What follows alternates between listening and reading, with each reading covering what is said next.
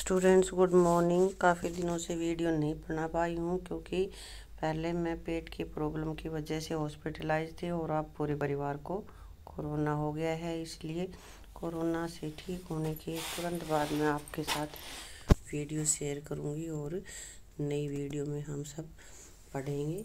तब तक के लिए माफ़ करना और तब तक तुम सब भी अपना कोरोना से बचाव रखना क्योंकि कोरोना किसी का भी सगा नहीं है तो कोरोना से बचाव के उपाय आप करते रहना। सबसे डिस्टेंस बना के रखिए बार बार अपने हाथ धोइए, मास्क लगा के रखिए।